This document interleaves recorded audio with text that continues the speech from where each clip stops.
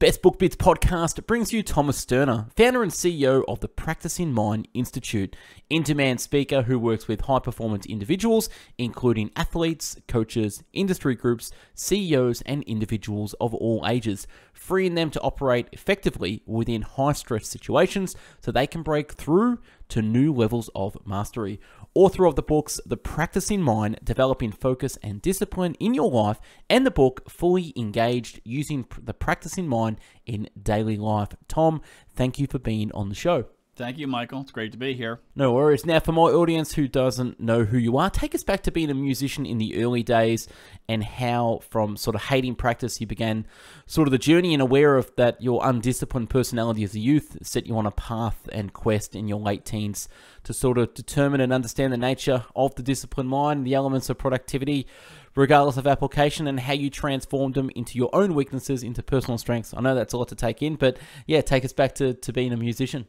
Well, I was uh, I was involved in music at a very young age. My father was a musician. My mother played the piano. My father played several instruments to to a certain degree. Uh, he, however, was very undisciplined by his own admission, and so he only reached a certain level of musicianship. I actually started playing when I was about four, um, and I had. Uh, one thing that became apparent was that I hated practicing, which is you know not uncommon, and most of that, uh, which I didn't realize at the time, was because my focus, my interpretation of practice was not correct. And I didn't know that. There was no one around me that knew that. And I started to see a behavioral pattern in myself where uh, I would start out with many things. It wasn't just um, the piano, but it could be gymnastics. It was a number of things that I was really interested in. They were all disciplines and I would start out with an initial enthusiasm, and I would burn through that enthusiasm fairly quickly, and then I was left with who I was, which was someone who was very undisciplined but had a very creative mind. So by the time I got to be a senior in high school, I really came to the realization that I was never going to have any power if I couldn't pursue something that I had chosen to pursue, uh, whether that was a, a skill, you know, or a task uh, and see it through. I wasn't in control of the process. So I realized that I had a problem that needed to be solved. I wasn't I didn't have the faintest idea how to do that. I just had to recognize the fact that I, I had a problem that needed to be um, solved. And then when I got into college, uh, a real close friend of mine gave me a book that he had. Uh, it was a textbook that he was going through in the philosophies of the world, and it. I, I really just devoured that book. It was hundreds of pages long, but I started studying about all the different Eastern thought, which I had never been exposed to before. And particularly Zen, you know, which was present momentness. And there was something about that that just rang so true to me that I began to put that practice into my life and things started to turn. And I began to see that my the, the, what I was interpreting incorrectly, and this is you know at this point I become I gotten back into music I should say in my late teens, and I was determined that I was not going to allow the weaknesses that had stopped me from becoming a good musician uh, um, impact where I was at this point in life. I was an adult at this point, and I, I really wanted to be a very good musician. I wanted to be able to uh, orchestrate and arrange and perform and songwrite and all those things. So once I began that path, I saw the the old familiar things coming back and that was at the same time I was in college at that point and that was at the time when I began reading about this stuff and when I began to apply it I realized that um, I had been obsessed with the uh, the product. I had been obsessed with this um, fictitious, ambiguous point in time where I was going to get to a place as a musician and I or any artist really, and feel like I had arrived and that now I'm as good as I need to be and everything would be would be fine. And what I didn't realize was that, you know, if you look at when you first start a piano lesson, when you come into it, you know nothing about music and the teacher shows you these notes on a page and they show you the keys on a keyboard if you're taking piano. And you don't know any of them. You don't know what corresponds to what. And when you're there, that is your threshold. That's where your threshold is at that moment um, in your skill development. Because everything in life is a skill. I don't care whether it's learning to walk or feed yourself or be in a relationship or build a business it's always a skill. And we start all skills from a place of no skill, and then we move on this linear line of mastery. And we have the opportunity to interpret that experience. We call that learning. So, what is our interpretation of learning? And this was the difference in perspective that I began to have. I realized that I was at that threshold, and in reality, we're always up against our threshold. That's the reason why we we feel like we're struggling because we're always pushing against whatever our limit is. And when you begin to look at it like that, and what made this so clear to me, Michael, was because you know, five years later, after I started, I was no longer trying to figure out where a note was on a page. I was playing much more complicated things, but I didn't feel inside, I didn't feel any better than I did that very first day in piano lessons. And that's because I was trying to play stuff that was up against my threshold.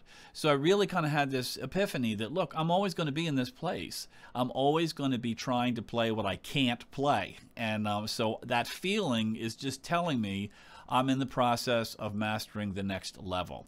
And so music was really a good place for me to, um, for that to be an incubator, you know, for that. And then uh, in my later 20s, I began playing golf, which was uh, then I became very involved in sports psychology and, and, neuroscience and just all of those things. And I realized that we were really talking about two sides of the same coin, and that the East they had had these practices that, by the way, were now we're now able to prove scientifically. In other words, uh, you know, we were really uncomfortable in a lot of Eastern thought stuff because, for one, we, we misinterpreted it as being tied to religion, which it, it, it isn't. Um, it's they make it part of their religions, but the actual science of it is not. Meditation and all these things.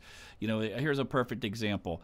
Um, we I, I, saw a study where, you know, everybody's familiar with the um, the vibrational states of the brain, the frequency states, you know, beta, theta, delta. Uh, they've heard these terms, even if they don't know what they mean. And they're just different levels that the brain operates at during the day in specific uh, under specific circumstances. And you know now we have the equipment to actually measure that, and we can tell when somebody's brain is in a specific uh, frequency range. Well, the the um, one of the higher frequency ranges is gamma, and uh, what the scientists said that were studying this is that the average person's brain goes into gamma maybe for a second and a half, two seconds, several times during the day.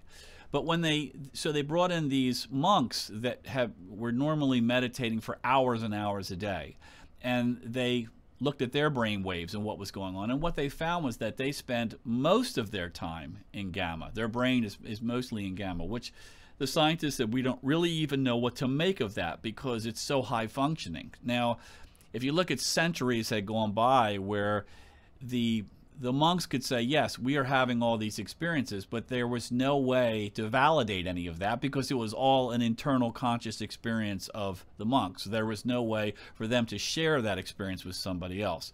Now, because we can look at it and we have this, this these instruments that can measure it, and we can look at it and say, yeah, it, here it is, it's happening right now. And so now all of a sudden, something that used to sound like, you know, woo woo uh, you know, New Age thought is actually real science backed up by data. So that was they were accumulating data that um, we didn't have instruments, you know, to um, in order to measure that. So my point is that we know all this stuff now that we didn't know before, and in the East, or I'm sorry, in the West, we tend to be very results oriented. You know, we're taught from the beginning that we're incomplete we need something outside of ourselves for that feeling to go away. And whatever it is, it's not where we are right now. So we have to learn how to make more money, to get a better relationship, to buy this car. If you just watch it, the you know the media and what is constantly bombarding us, it's always you need this. You don't have this, and you're not going to be happy until you have this. The world is passing you by. Life is passing you by because you don't have this. And as soon as we get that, we just we get you just become attached to a new goal and the feeling is right back there again. So this is where for me music was where it started. Then when i got into golf it became my study of sports psychology and our Western sciences that let me see that you know we're talk- we're all talking about the same thing. It's just a truth of how we operate, and um, and and actually I find that very consoling, uh, you know, because it's uh, it's normal for us, and we have what we know now is that we have this incredible potential with our mind that we're just beginning to be able to validate scientifically. Just because we haven't used it doesn't mean it's not there. It's just like you know, electricity has always been here. It's just that you know, you go back 500 years ago and you're talking about you know, we have this electromagnetic magnetic force and we can do all these things with it. You know, you, would have no way of validating that or even showing it to somebody. And now we look at where we are with that, and it's the same thing with our mental abilities. We're really beginning to understand the relationship between the subconscious and the conscious and all those things and what our true potentials are and it's it's fascinating and it's really exciting yeah thank you for un- unpacking that tom that was that was really great i do want to circle back to one thing so in, in terms of your musician career, you're actually a, a chief concert piano technician uh, for major performing artists. Can you talk a little bit about that with your 25 years sort of tenure? Sort of who were some of the big names that, that you worked with and what were some of the experiences that you learned from that? Well, that was a, another. but That was all happening at the same time. I became a piano technician. I was in college. I started studying piano technology outside of college. It was different from my uh, major when I was 19, and uh, because I love the piano so much and I was just naturally very mechanical, I just decided I finished the degree requirements for the college uh, major that I had, and then I just went over to the piano technology because I just enjoyed it so much more. And by the time I was 23, I had, you know, every credential that was offered and I began to get high level work. And then it just went from there. The reason that that was um, such a perfect job for me was number one, it's very solitudinal. You work by yourself all day long, and you might be in the concert hall for hours with just a spotlight on the piano and in, in silence, you know, working. The other thing is that what people really cannot comprehend is how repetitious and monotonous piano work is. I mean, there are 88 notes, so everything you do, you have to do at least 88 times. And if you look at a grand piano action, there's I don't I don't remember the exact number, maybe 5,000, uh, close to 5,000 parts. There's about 34 adjustments per note. Each adjustment is interdependent on all each other adjustment. So if you change one adjustment, it's a chain reaction all the way down the line. So you have to go through the adjustment process multiple times to refine things because as I said, you know, each each thing you turn is going to affect something else uh, somewhere in the chain. So you know, it was that being by myself and having to face that every day and learn that like you know, you could be like, oh my gosh, you know, I've got to tune this piano. There's 235 strings on it, and I got to touch each one maybe a dozen times. You know, that's an awful lot. And that's just one call for one day. You may be doing five to seven of those a day. So it's, like I said, it's a very monotonous job, and it requires a lot of concentration and uh, a very high attention to detail. So that created this opportunity because I was by myself to to work at um, how do I change this experience into something that instead of it feeling like drudgery that's never going to end into something that I wanted to do and that I was where I wanted to be. And that was all part of that learning that you know, we spend our lives 98% of the time we're in the process of achieving whatever it is that we want to achieve. And only about 2% of the time are we crossing the finishing line. And so we need our focus needs to be on the process of achieving instead of the moment that we achieve something. And when we do that, when we, it's really a mental it's just a mental shift. And when we make that mental shift, then we're just filled with this contentment and happiness and we're not impatient and we're not resisting the moment because we're where we are, we're where we want to be in this moment. When we're attached to a goal, like when I whenever I get this piano finished, you know, then I can be done and I can go on to the next thing. Then what that does is it makes the present moment into this. Um, your interpretation of that becomes this is a, a nuisance or an inconvenience I have to endure so I can then get to this moment when I achieve the goal, and then this feeling inside of me, whatever it is, and boredom, impatience, is going to be gone.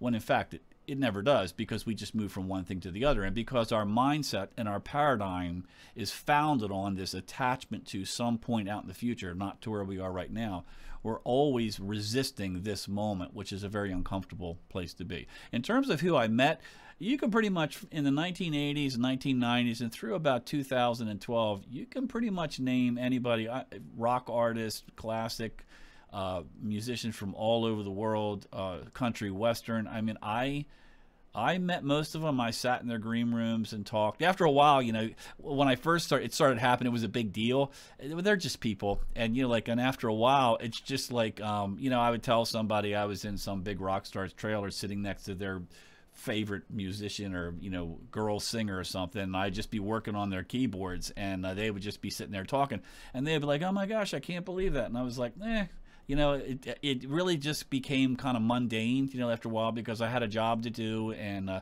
and they were always very, very nice to me. Uh, they appreciated my work. So, like I said, they're very different off stage than they are. The stage is just that's an act that they go through. But when you meet them off stage, they're they're just regular people. They have their their kids are there, and you know uh, sometimes I'd be in the concert hall and there'd be like five year olds running around downstairs. You know while their father was upstage on stage performing. So yeah, that's cool. The only name that stuck out for me that was cool was Pavarotti. Yes, Pavarotti. A lot of classical musicians. Um, I mean, I worked on Van Cliburn's piano. I mean, his personal piano. You know, like um, that's you know these are these are people that were big. But uh, Itzhak Perlman, Yo-Yo Ma. I mean, all you know, all of those guys. Um, uh, like I said, I actually have a list of it somewhere. It's it's quite long, you know, um, because of uh, I didn't just do one theater; I did multiple theaters, and uh, so you know, um, because of that, I, I, did accumulate over 25 years quite a bit of. Yeah, cool. I just want to go back really quick. I took some notes of what you were saying before. So you're talking about sort of 98% of the process is the process of achievement, and only 2% is sort of the crossing the finishing line. You could probably say 98% of people are thinking about 2%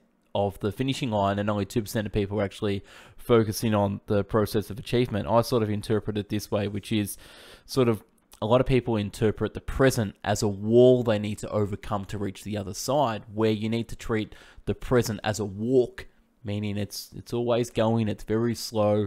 You know, each second is the same time, if that makes sense, where people are sort of, as you said, putting that putting that interpreting as the present of something they need to overcome instead of something they need to go back to. But we'll get into we'll get into the book. When did the book come out? The first one, the Practicing Mind, and, and what made you sort of write it as well? Well, I actually started I, to write the book in the early '90s, and I actually did write the book in the early '90s, and I was, of course, immersed in the piano technology, and I I tried to find a publisher. Nobody wanted it um, because I, I, was an unknown. The book was an unknown. Uh, it may have even been a little bit ahead of its time back then. I don't know.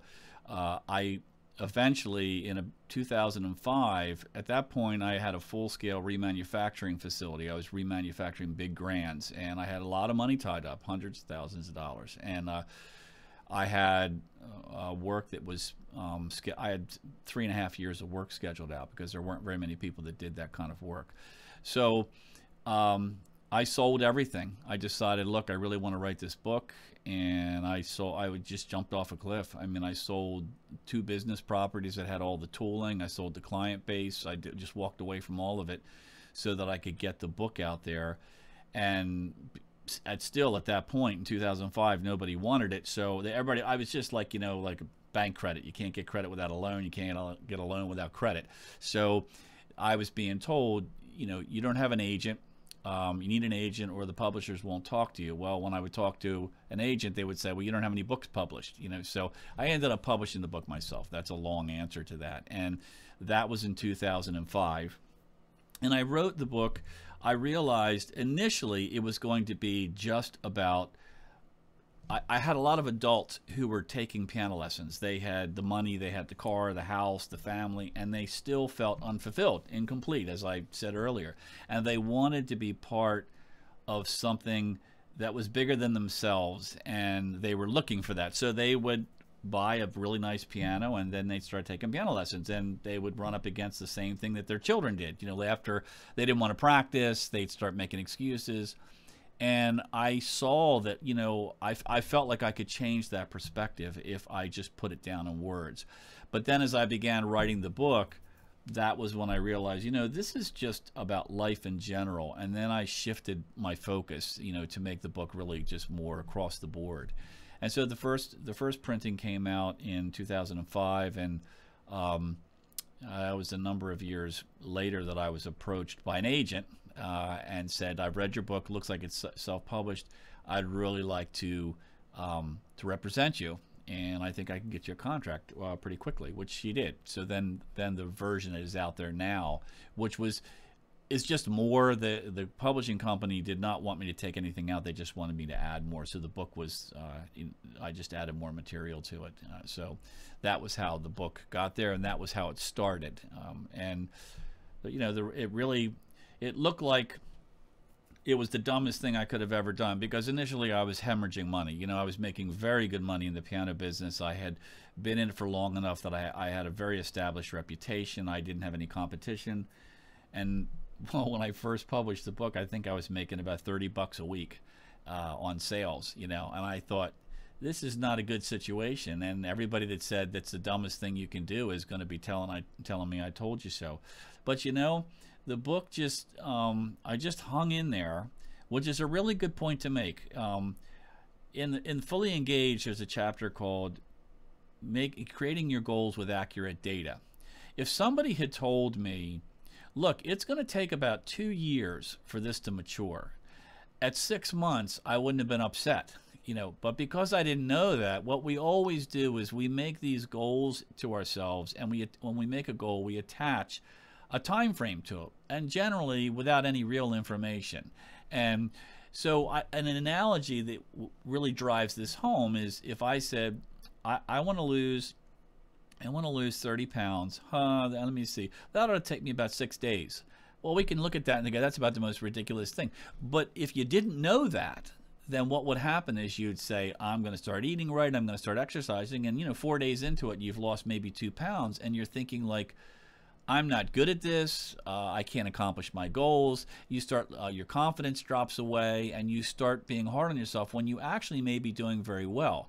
And so that was what you know happened with that. You know, like I really didn't have any idea, but I, the book on its own, it just kept marching forward. In fact, it's still, it's been out for that many years. It's still upward trending. It's really, it's in all kinds. It's I think 12 or 13 languages now, um, uh, and and and continues to do well. I have letters from people from all over the world. It's really been an unbelievable and fantastic experience for me.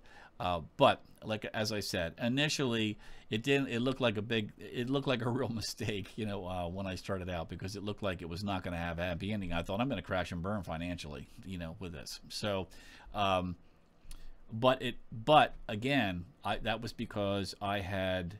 I didn't have enough information to know to give myself the time to do that. Another example of that is when I was a musician, I wanted to play this, I was studying jazz and I wanted to play this particular jazz run on the piano. So I began practicing it. And uh, I practiced it for 15, 20 minutes a day as part of my daily practice. And I did that for uh, about 10 days. And I couldn't play it. And so I really began to think, uh, I was probably 22 at the time. I began to think that, well, you know, maybe I just don't have the ability to play this. Like I see other people can do this, but maybe I just can't play this fast. And so I quit. And about a month later, um, I was on a, a gig playing, and it was my turn to solo. And I was soloing. I don't know what possessed me, but I decided to just try the run, and it just it was effortless. And I did not understand how that could possibly have been. Well, I later learned on that learned that you know it takes the brain so long, so many repetitions to create the synapses and just the whole all the electrical pathways that have to happen for that particular motor coordination to come out. And I didn't give it long enough. Like if I had just if somebody had said uh, if I had said to somebody, I, have been doing this for two weeks and I can't play it, and they said, well, you shouldn't be able to play it in two weeks. You know, you won't be able to play it for three and a half weeks. You know, then you'll be able to play it. Then all of that pressure on myself would have dropped away, and I would have been perfectly comfortable just going through it with no expectations at all. It's a very important point. Yeah, it's uh, an analogy that I got from that. Like my uh, my young kids were in swimming, and my son is um, outperforming his class, but he doesn't know what he's doing. We'd take him to swimming once or twice a week, and he's getting better and better. And over the years, he's now he's at a stage where he's loving the process that much. So segueing this into your book, The Practicing Mind, some of the notes I got from it one packet. You talk about sort of top performers in any field. They're the best, and, and the reason they are the best is because they've mastered the secrets of thought awareness and learned to enjoy the process of a practice in mind. Can you expand on that with, you know, enjoying the process, mastering thought awareness, and, and what's that all about? Well, the very fundamental, the very first thing that you have to do with any self improvement, with any self expansion or transformation, is you have to experience that um, I am not my thoughts and I am not my behaviors. I have thoughts. Some of those thoughts I actually do create, but most of the thoughts, the, what neuroscience says, is about 95% of them are programs that have been installed into our subconscious. And this starts from the day we're born. And many of those those programs we've installed ourselves. Well, we've installed all of them, but it's been through our reactions sometimes from what other people have said uh, to us. And when you understand the subconscious, you know the subconscious mind is literally 10 million times faster than the conscious mind is, and there's a reason for that. Uh, if we start to fall, uh, our subconscious mind kicks in and it works our balance system and tries to keep us from falling. You know, if we had to consciously think, do this with your right foot, bend your ankle this way, you know, move your knee this way, we couldn't, we would never be able to keep up with it. So the subconscious mind is much faster than the conscious mind. And what it is, is it's an eloquent it's a very elegant recorder. It, it's very accurate and it records what what it's observing, and it's always observing. It's observing what we feel and what we think. So, what and I here's an analogy for you. I was having this discussion with a client one time, and he was an executive, and he said, "I don't buy that. I think that I am thinking my thoughts all the time," and so I said to him to make a point. Obviously, I wasn't being serious.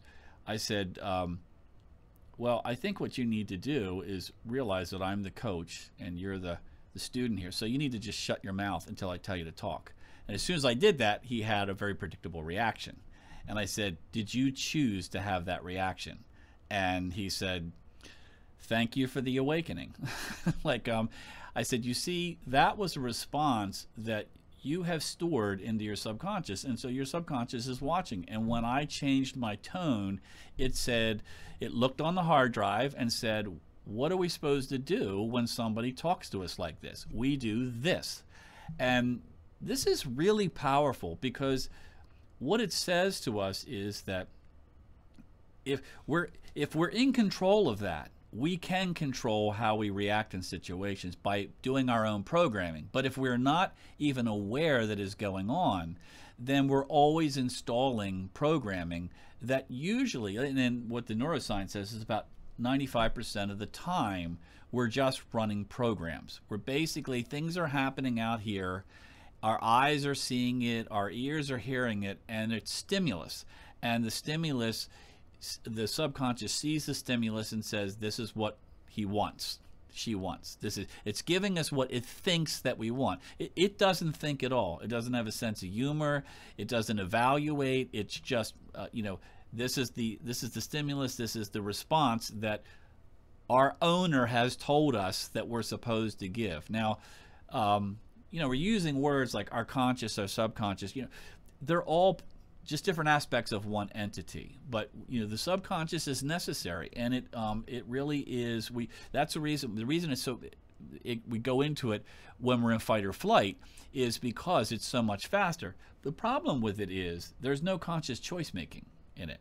It just it doesn't evaluate. It just puts the stuff out there. It doesn't say, I know that when I give him this thought, it makes him feel lousy, but uh, it's what I'm supposed to give them. So maybe I can tweak it a little bit. It doesn't do that. It just you you say something or you think something, uh, and it just reacts to that. So it's a very it's very important that we understand that that is how that's how the, the interaction works. And I'm not sure. Did that answer your question? Yeah, it did. I could probably give a, a good analogy. I like what you said when uh, you were coaching the client and you changed the tonality. Reminds me of the Chris Rock and uh, Will Smith thing. So Chris Rock said a joke about Will Smith's wife. They all thought it was Will thought it was funny until he looked at his wife and she had a disapproval look, and then he went into that unconscious reaction mode where another guy's insulted my wife, so straight away got up, went up, smacked him.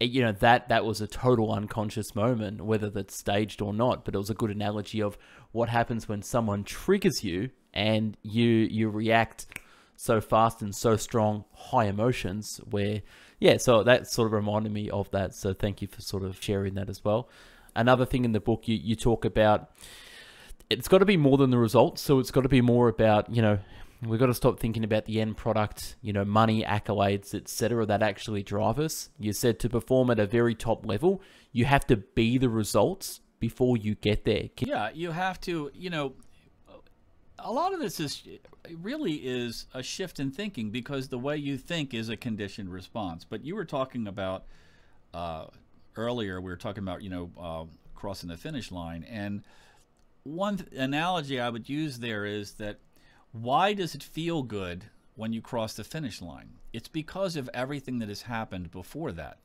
If I just take a piece of chalk and I draw a line in the street and I say, there's the finish line, go ahead and step over it, it doesn't mean anything. What makes it mean something? It's because of everything that you have done in the in the process of getting to there. It's the pre pre preparation and, and then the running the race and pushing yourself. Even when you're tired, you're pushing yourself more. And that is being the result. You know, that is like um, when you are, you have to think, you know, this is another thing about neurosciences, you know, that they're learning is that um, what makes things happen is this feeling of it's already done. It's, it's already happened. You know that's what you're programming. You know you you're programming. I've already I've already fin- I've already won the tournament. I've already finished the race. You know um, first, and this is why you're seeing in sports psychology, like uh, you know because I was so involved in golf, you see things like um, like a golfer will sit in a, in a chair, close his eyes, and play an entire tournament in their mind. Because the subconscious mind doesn't know the difference between something that is happening outside and something that is happening internal. They found this out, and I think it was in the 1970s, that when they were studying Olympic athletes, and they found out when when they would envision a certain thing happening, uh, say in their routine, the same areas of the brain would, would react as when they were actually physically doing it, and the same muscles would twitch. And so, from the mind's perspective, there was no difference between when it was um, really happen, let's say really happening, uh, which would just be outside, and when it was happening internally. And there's another side to this that's very important, and that is that uh, that I tell people, you know, if you when you worry about something, uh, my daughter came home. This is when she was a little girl. She came home one day. It was like 4:30 in the afternoon, and she was upset. And I said, "What? You know, what's the problem?" And she said, "Well." This girl told me in my locker she didn't like my hair, you know. And I said, well, when did that happen? And she said, "Oh, this morning." I said, "You mean like at eight o'clock this morning?" And she said, "Yeah." And I said, "It's 4:30 in the afternoon, and you are reliving that over and over again. And every time you replay that thought in your mind, your blood chemistry changes your the same hormones gets flood your body. Your body doesn't know the difference between it happening at 8 o'clock this morning and it happening at 4.30 it's the, the wear and tear in other words is still happening on you. And so this is the reason why because i want to talk about thought awareness um, that this uh, concept of um, i am not my thoughts. You have to learn the experience of watching your thoughts, of being the observer of your thoughts, because that's when you notice the programming that's going on. When you become the observer of your thoughts, that's when you're anchored in who you really are because you're not your thoughts. They come afterwards. You are the per, the the being that is watching the thoughts.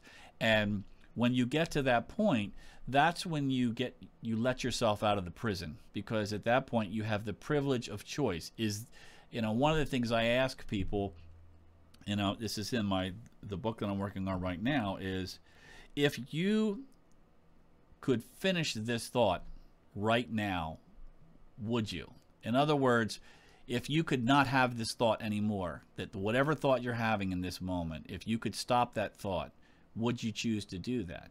Um, and and the reason is because for most people the answer is yeah, I would like to do it, but I can't do it. I mean that's something that I have found with um, when I'm teaching uh, people how to meditate. I've worked with high school kids and when you um, tell them we do like a two minute exercise and i just say look i'm to you're going to close your eyes for two minutes i want you to stop thinking oh I, I know they can't do it you know they don't know they can't do it but i know they can't do it so i set a timer and when they come out of this thing they're like totally stunned and perplexed and they, they immediately start jabbering about oh i was telling myself to not thinking but i was down in the cafeteria and i was thinking about something somebody said to me yesterday and on and on and i say well there's something that you really have to look at here. If you are telling with your will, you're telling your mind, stop thinking. And your mind is saying, no, I'm going to think, and there's nothing you can do about it. I, who's really in control of what's going on in your day and in your life? And for a lot of people, this is the first time that they've really realized that, that the mind is a you know it's a problem solving machine. If you don't give it if it loves a problem and if you don't give it a problem it just goes into search mode and it'll just start looking for something. And um, most people just go along for the ride. Um, and what it does is it has the thought and that thought garners a response from the subconscious which puts that out there and that response begats another thought and it just keeps going and so what's important what thought awareness is is a very simple process. It's a very simple meditation process to teach you that um, to that to feel that separation of I you know right now my mind is thinking, but I'm not my mind. I'm I use my mind, but I don't allow my mind to use me. And they're two different places, and that you really have to get there to be able to accomplish anything because I'm feeling impatient. People go, How do I get more patient? Well, the first thing is you have to recognize the difference between being impatient and having an impatient thought. They're two different places. And when you can learn what it feels like to notice that you're having an impatient thought, now you have the opportunity to make a choice to change that thought. If you don't, you're just going to feel impatient. And uh, so it's this is what that is what thought awareness is about. Yeah, thanks for unpacking that. And one of the notes I got from that was sort of anchor your being and sort of get out of that prison. You talk about sort of enjoying the practice and, and learn to enjoy being mindful. My wife refers to me as the as the tortoise and she's the hare. I'm very, very slow. I take the long way. But I don't stop. And the reason like I've got a, a longer time frame where I can work all day. Like I've been up since 3:30 this morning. I'll go to bed at sort of 9:30 and I won't stop working per se. I won't stop doing things, but I'm doing it in such a slow meditative state that it doesn't look like I'm doing anything, but looking back, I've actually done uh, a hell of a lot of stuff because I'm actually more focused on the present moment in the process and not worried about the end goal or the end product or what do I need to achieve. So I'm always focused on state first, especially mental state. And I want to go back earlier to what you're talking about with the the your brain frequencies and things like that too, which is it's so important. Understanding different times of the day, you're gonna have different you're gonna be in a different state of frequency. And when you understand the pace of not only your day to day life, but your brain activity as well, you can actually chunk certain activities at certain parts of the day where you're actually either be concentrating, resting, high performance activity too. So, I'm not sure if you want to unpack a little bit about that. So, just in a nutshell, enjoying the practice, learn to enjoy being mindful and sort of the, the understanding of what state you're in during the day and how you can use that to your advantage as well. Is there anything you want to add on to that? Yeah, I think that. Um you know, we, we touched on it earlier. You know, when you are when you're feeling like I don't want to be where I'm at, that's because you're feeling like you want to be someplace else. And that's that creates this sense of resistance. When you can, you know, surrender to I want to be where my feet are. You know, I want to be right here doing what I'm doing.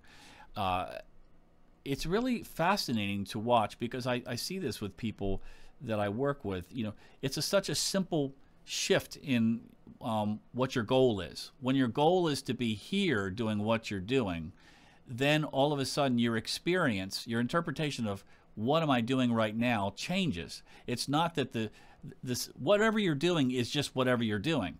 You have a choice as to how you experience whatever you're doing. And when you change your interpretation, when you say, "Well, I'm where I want to be," then you have you're, you're being successful because you're here doing what you you want to do. But when you're feeling like I'm not going to be happy until I get to this place over here, then you begin to, as we said earlier, resist this moment because it's in the way of you getting to be someplace else. But in general, we're we're doing what we have to do in this moment, whether it's taking the kids to school or um, you know or work or whatever it is we're, we're where we have to be so we need to learn to change what that experience is so that we spend more of our time in a state of contentment instead of in a state of feeling like um, i don't want to be here. Uh, and i think that one of the reasons this is difficult and this these states of mind impact our brain frequency. You know like when you change your state of mind it changes your brain frequency. So um, because they can look at their the brain is at different frequencies when you're happy and when you're sad. There's different areas of the brain that are operating in different frequencies that are happening. But i think that you know one of the things that's important is to realize that um, when we look at this in the western world um, we have a problem with things that are infinite, meaning um, when I tell people, look, I want you to do this simple meditation, and it takes 10 minutes a day, and I want you to do that every day. And I said, you know, what you what you find is that they're really good for about the first week. And then they start sliding, and then they just start to go back into the previous behaviors. And and one of the I feel like what happens there is meditation whatever that's just a word it's a label you can i call it thought awareness training um, because i think it's easier because that's what we're doing but i think that it's what's important about it is to realize look we have so much on our plate you you mentioned that we have so much going on that we want closure we, we want the kids picked up. We want the report done at work. We want this meeting over with, this interview done. We want all these things done so that we feel like, well, I've closed that. I can take it off my plate. Now I can focus on this. Even though that just can, is a continuum, because there's always something that falls in to replace it whenever we finish it. And because of that, we struggle with the concept of something like, you're telling me I have to meditate 10 minutes a day for the rest of my life? That that's just like that feels so overwhelming even though it's only 10 minutes a day. But we brush our teeth every day. We, you know we do lots of things every day. We exercise. You know we never get to a point in exercising where we say well i'm 35 I'm done exercising. You know, like I, have gotten there, so I don't need to exercise at all anymore. We just accept the fact that this is part of a healthy life. And in this world today, what we're finding is because of the constant overstimulation of the brain, that we have been asking the brain to move at a faster rate. And the brain is evolving to do that. But what, the, what is atrophying in the brain is the ability to pay attention for any length of time and to remember for any length of time. You know, our working memories are deteriorating. And that's because that's not what we're asking our mind to do. We're asking our brain to operate faster, faster, faster, process more data, more data, more data. And, uh, you know, I look at it like uh, if you go back to before the printing press was invented, there were no books. I mean, people didn't, only with the exception of some religious texts and things like that, but the general public didn't have reading skills because they didn't need them. And then there was this paradigm shift when the, um, when books became available through the Gutenberg press and all, books were being out there, and all of a sudden people needed to learn how to read. Now, if you think about that, what does that mean? Well, before then, they just told stories. Now they had to learn to put symbols together and phonetics together to form words in a sentence, and then have a visual. Their brain had to figure out how to have a visual from this sentence instead of just listening to someone talk. It had to read. And so the brain had to evolve to do that. Well, it didn't, you know, over a short period of time, I don't know, several decades or whatever, the brain became really good at that. Now it's atrophying because people don't have to read because they can watch a video. Like, um, you know, kids don't have to use their imagination because there's a video for it. And so we're asking our brain to do something different and not do this anymore. And so that skill is going away. And that's why this short thought, you know, 10 minutes of meditation day is so important because it holds on to that skill and it develops it continually refreshes that skill of being able to pull your mind in and say, I need to pay attention to this right now for the next hour. And it allows you to do that. Most people, you know, there's a book out by Nicholas Carr years ago about what the internet is doing to our brain. And it, you know, he talked about how he thought he had, I think he called it middle aged brain rot. He said, I used to read voraciously. He said, then I found that as I was getting older, I could only read for maybe eight to 10 minutes at a time. And then I would think, like, I got to go check my email, or, you know, it, it was just like this constant resistance to it and pushing away. And that's what we're, that's coming from the, what his research showed was that that's coming from this constant overstimulation and us asking our brain to function in a new way. And we're not asking it to hold on to the old way. And it's very important that we do. Yeah, I could sum that up in uh, in the book. You talk about sort of the four S words, which is sort of simplify, which is basically when you work at specific projects or activity, simplify it by breaking it down into you know uh, component uh, sections. You talk about small as well. Be aware of our overall goal. Remember, it's use it as a rudder or, or distant beacon that that keeps you on course. But break the overall goal into small, simple sort of sections that can be achieved in a comfortable amount of concentration, which which you just talked about there.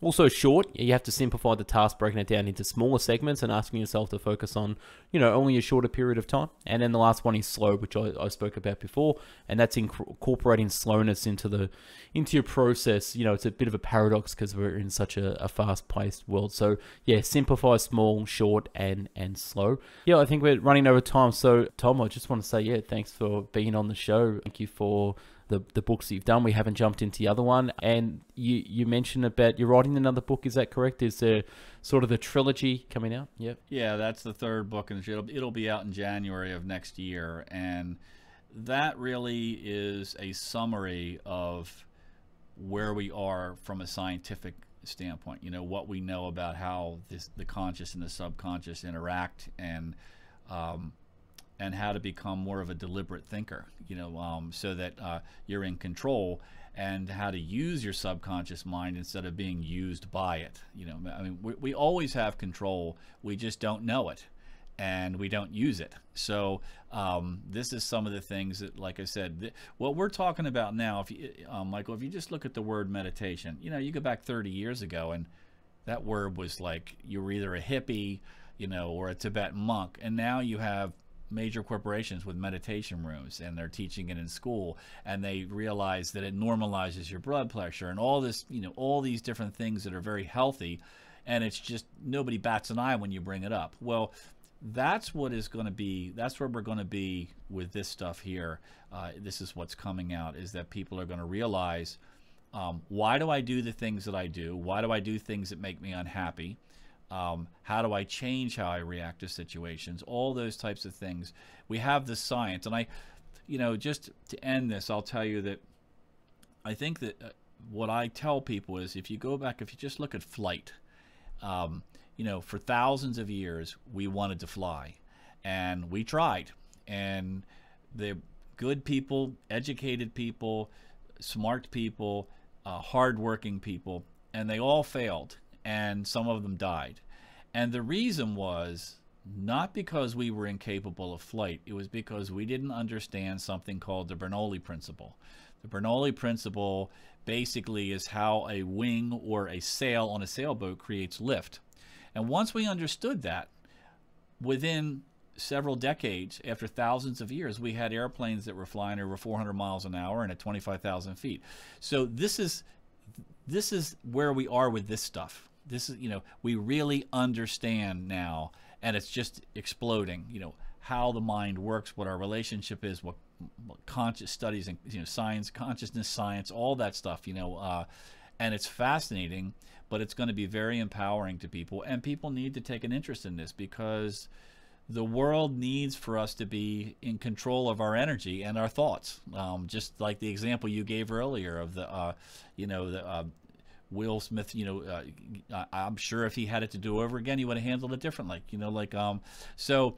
You know, my point is is that this is this is all stuff to me that is it's um it's exciting because it's being being proven by data that we can look at and we're in the west we're just more comfortable you know and we can see that Well, definitely, yeah. When that comes out, we'll definitely uh, get you back on the show and, and talk about that new book. Wonderful. Love it. So, yeah, Tom, thanks for coming on the show. To my audience, go out there, yeah, read Tom's stuff, find him online, and check out his website as well. And again, Tom, thank you for your time and thanks for being a guest on the Best Book Bits podcast. And yeah, we'll speak to you next year when the new book comes out. Okay. That sounds fantastic, Michael. Thank you so much for having me.